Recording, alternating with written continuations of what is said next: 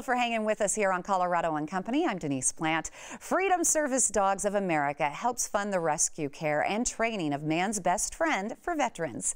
The entire team is gearing up for a really big celebration and here with all the details, Blake Johnson and of course, Cargo, this awesome service dog ambassador. Good to see you. Thank you, you as well. So let's meet Cargo. Tell me a little bit about Cargo and why uh, he was selected for the ambassador. So Cargo is now about seven and a half years old. Mm -hmm. And he was originally paired as a service dog with a woman in a wheelchair. And she passed away, and oh. Cargo came back to us. Part of our agreement with our clients is that if something happens or they can't care for the dog, we always want them back. We don't want them going back to rescue, back to a shelter. Right. So we got him back. And by that point, he was a little bit too old to become a service dog for someone else. Mm -hmm. So he became our ambassador. Dog. And uh, ambassador, dog, I love that. Instead of the ambassador, the ambassador. and what are the duties of the ambassador? Well, right now, I mean, people come out in droves to see Cargo. So really, they don't come to hear us talk, they come to see him. And what he can do, he's got a number of skills, hundreds of commands he knows. He travels around wow. just kind of doing PR for us. Such a sweetheart. Raising awareness and just being adorable. What is the training for a service dog? It's rigorous for sure. Really? So once we acquire the dogs, we do some evaluation at Freedom Service Dogs, and then the ones that seem like they're going to be at least a potential fit for a service dog mm -hmm. gets sent then to the canine prison training program. And that can be upwards of three months.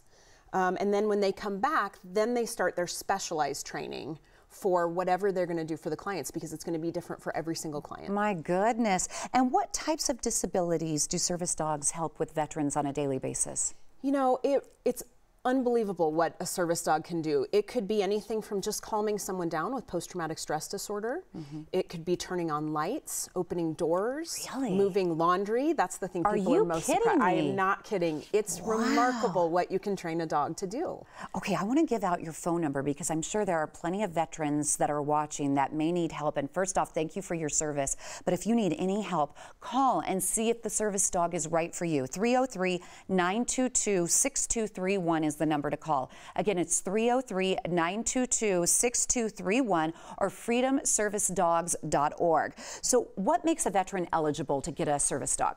Well, so it's um, it's a labor intensive process. So without going way into depth, I would say the best possible option is to contact us because there are a number of things to fall into place. But many different disabilities can qualify for that, whether emotional, physical, missing limbs, but mm-hmm. it's it's a process. And so I would say call Freedom Service Dogs, contact us for sure. Okay, again that number 303-922-6231. Please do reach out and call. Where do you find the dogs?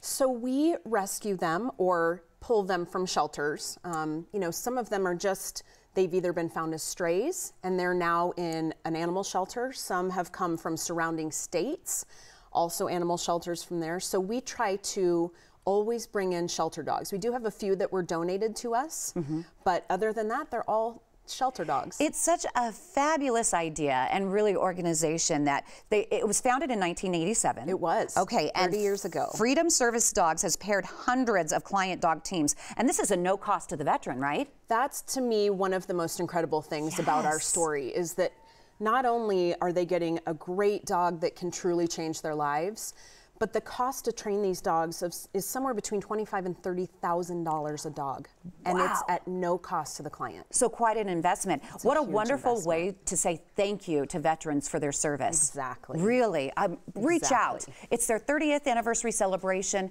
We want you to reach out, and maybe they can pair you with the perfect service dog. This will work. 303-922-6231. Now, our viewers can actually help raise money. Like you said, it could cost up to 30000 $1,000 to train a dog by attending your 30th anniversary celebration. Absolutely. Anything helps um, because they're no cost to the clients. Private donations, corporate donations, um, that all of that makes a huge impact. But our, we're having this big celebration for two big milestones with Freedom Service Dogs. That's our 30th anniversary, like right. you mentioned. And the other thing is the grand opening of our new facility. Oh. And so we're inviting the public out to do a little tailgating. Very fun. That's cute. and we're gonna do. We're gonna You're have full of puns today. Dog ambassador. You just got a glimpse of what my husband's life is like.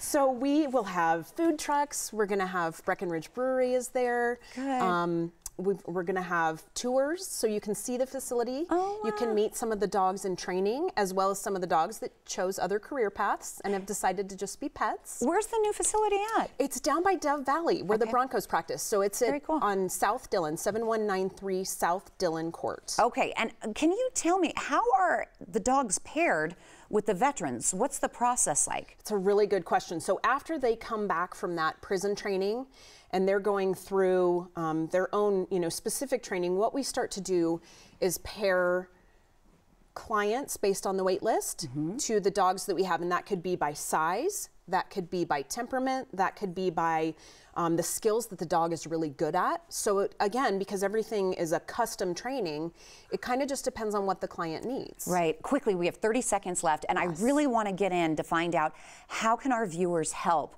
continue this wonderful mission of Freedom Service Dogs, pairing a dog absolutely free to veterans. Yes. Uh, we always need volunteers, Mm-hmm. foster families, so the dogs can just be dogs and go home every once in a while. Cool. Always donations. Come out and support us in any way you can. Tell your friends anything that you can do. Um, donations in terms of toys, anything. All right. Well, let me give out the information. Thank you for You're coming welcome. on. Thanks for having us. Cargo, it was so nice to meet you. yes, what a sweet little dog. You are sweetheart. Okay, it's a 30th anniversary celebration, not to miss. Now, in dog years, that's 210 years. Specially trained canines have been serving disabled veterans. The place to be is June 22nd, 5 p.m. at 7193 South Dillon Court in Englewood, the location of the new Freedom Service Dog building. So make sure you check it out. If you'd like to learn more, visit freedomservicedogs.org. That's freedomservicedogs.org or call 303 922 6231. That number again is 303 922 6231.